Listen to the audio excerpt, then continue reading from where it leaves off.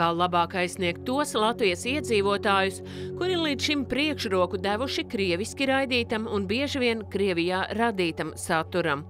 Politiķi un atbildīgās iestādes šo jautājumu mētājušas kā karstu kārtupeli, tostarp nespējot izlemt, ko iesākt ar saturu mazākumtautībām sabiedriskajos mēdījos, atmetot arī ieceri par speciāla kanāla veidošanu. Ja mums ir jāsasniedz tā sabiedrības daļa, kur šobrīd ir šaubīga, un mēs viņus nevaram tikai tādēļ, lai sasniegtu, mēs nevaram ielikt viņus atpakaļ viņu atsevišķā krievalodas telpā un tādā veidā paši veidot šo divkopienu sabiedrību, paši ar savām rokām. Taču jautājums, kāds būs rezultāts tagad izvēlētajam risinājumam? Pēc politiķu iniciatīvas Ukrainas civiliedzīvotāju atbalsta likumā ielikta prasība Latvijas sabiedrisko mēdīju gatavotās ziņas un raidījumus bez maksas nodot komerckanāliem. Lai pieņemtu lēmumu, ir nepieciešams šobrīd izdarīt eh, nu, mājas darbus, izdarīt analītisko darbu, kas varētu palīdzēt atbildēt uz jautājumiem, eh, kas ir saistīti gan ar pašu procesu, piemēram, nesakārtot autortiesību jautājumu, un jautājumiem, kas ir saistīti ar ietekmi mediju vidē un ietekmi auditorijā, ja šādu soli spēr.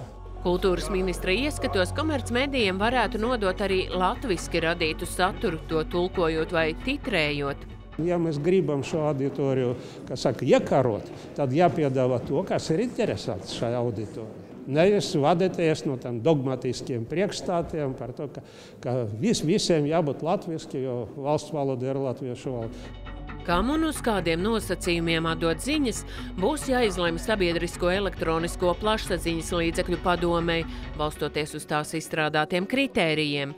Kamēr padome diskutē savā starpā, nepacietīgi kļuvuši Saimnes cilvēktiesību un sabiedrisko lietu komisijas politiķi, kas procesu steidzina lūdzu piezvanīju Latvijas televīzijas valdes locekļiem. Tagad jau tur ir vairāki, ne tikai viens. Un šo jautājumu lūdzu sakārtojiet.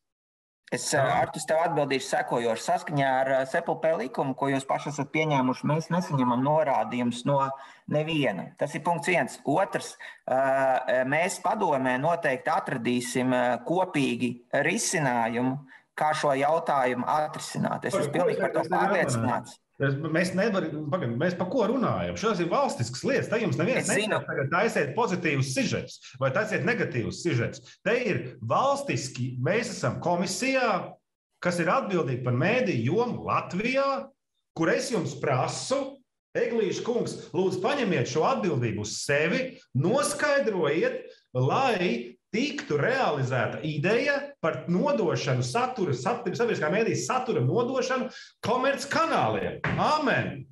Kas šeit ir par, uh, tagad, uh, par kas jums komandē? Kas tas ir? Kur mēs, kas notiek šobrīd?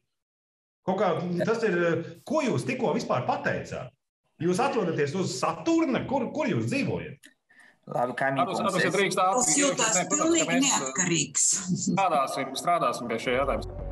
Sabiedrisko mēdīju padomas loceklis Eglītis aktīvi aizstāv sabiedrisko mēdīju saturu nodošanu komercmēdījiem, un vēl pirms politiķu lēmuma bija sācis sarunas ar tiem. Viņš neuzskata, ka tā būtu privāto kanālu interešu lobēšana.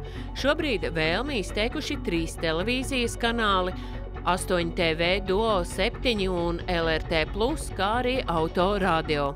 Ko, ko nozīmē interešu lobēšana? No, es pieļauju, ka komerc uh, mēdīji uh, pie mums nāk uh, ar mērķi, kur ir mērķi, kur ir komerciāli. Acīm redzot, viņiem viņi tajā saskata ieguvumu. Es šaubos, protams, vai viņi to dara kaut kādu cēlu mērķu dēļ, lai vairotu sabiedrības intereses. Nedomāju, bet, eh, nu, piemēram, mans uzdevums ir izvērtēt šos sabiedrības ieguvumus, un es raugos no šī. Ja es redzu, ka sabiedrība eh, un konkrēti mērķa grupa tiek sasniegta vairāk ar kvalitatīvu informāciju, manuprāt, tas ir būtu atbalstāms. Pieminētais TET kanāls 8 TV apraides atļauju saņēma pirms gada, un tā paredz arī, ka kanālā būs ziņas, kas tur aizvien nav redzamas. Īpašnieku pārstāvis neslēp, ka pieteikums bijis balstīts uz cerībām saņemt sabiedrisko mēdīju gatavotās ziņas. Pirms šī mūsu licences saņemšanas eh, bija jau pieredze, man liekas, gadu vai iepriekš bija jau sabiedriskais mēdījis savu ziņas arī devis komercmēdījiem. Tā kā mūsu apsvērumos, protams, tas bija, ka tāda iespēja pastāv, bet tā kā šobrīd viss tas teiksim, kavējās un atbildes mēs nesaņemam, mēs esam sākuši darbu pie savu projektu un jau rudenī plānojam palaist informatīvo savu raidījumu bloku. Komercmedijus uzraugošajā padomē norāda, ka tur par šo situāciju ir zināms, taču tā kā viņi ir informēti par sarunām par iespējamo sabiedrisko mēdīju ziņu satura izvietošanu, sots par apraides atļaujas nosacījumu neievērošanu nav uzlikts. Tad, kad eh, kļūs skaidrs, ka šāda ziņu satura nodošana nenotiks, tad bez šaubām vai nu tetām būs uh, jā, jāveido šīs ziņas pašam, vai arī viņi saņems uh, sodu. Bet šobrīd uh, notiek sarunas ar citu valsts institūciju, un būtu absolūti nesamērīgi valstī šādā brīdī iejaukties, jo iespējams jau rītdien šis saturs tiks nodots. Saimnes deputāti jautājumu par satura atdošanu nolēma turpināt skatīt šonedēļ, taču šī sēde jau notika aizslēgtām durvīm, kas neļauj iepazīties ar tās saturu nevienam, kas nav bijis klāt. Jūs, Šņūrs kundze, noteikti esat uh, jau uh, informēta, uh, es domāju, no no, no daudziem citiem cilvēkiem, kā gāja komisijas sēdē, par ko runāja un kāda ir, kāds ir sausais atlikums un kāds tas vispār ir. Šo lietu es nekomentēšu, jo tieši tāpēc ir slēgtā sēde. Lai uh, varētu mēģināt rast šo uh, atbildi pēc būtības. Vai jūs atradāt šo atbildi pēc būtības? Vēl nē. Sabiedrisko mēdīju padomē norāda, ziņu saturu privātajiem varēs nodot tikai tad, ja tie varēs sasniegt to auditoriju, ko sabiedriskie mēdīji nesasniedz. Lielākais risks patiesībā, ko es arī redzu, ir, ka faktiski valsts no savas puses pasaka, ka nu, sabiedriskie mēdīji nav svarīgi. Varat nelietot sabiedrisko mēdīju saturu, nu, mēs jums to piegādu, pied, piedāvāsim nu, citur. Tas saturs atradīsies citur. Man tas neliekas pareizi ilgtermiņā. Sabiedrisko mēdīju vadītāji bažījies, ka politiķu lemtais varētu nozīmēt gan papildu riskus un izdevumus, kas saistīti ar dažāda veida autortiesību līguma nosacījumiem, gan būt pretrunā ar Eiropas raidorganizāciju savienības jeb EBU dalības noteikumiem. Tie liek saglabāt materiālu ekskluzīvu ekskluzivitāti, neizplatot tos ārpus EBU. Satura daudzveidībā būs pilnīgi tādā pašā līmenī. Nekas vairāk neradīsies, viedokļu dažādība nebūs vairāk un, un dažādāka.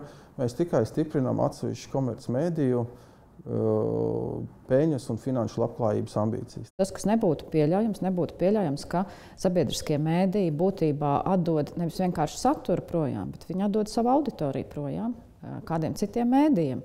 Un tad patiesībā, protams, sabiedrisko mēdīju vērtība un loma tiek mazināta, un sabiedriskie mēdīji tiek vājināti.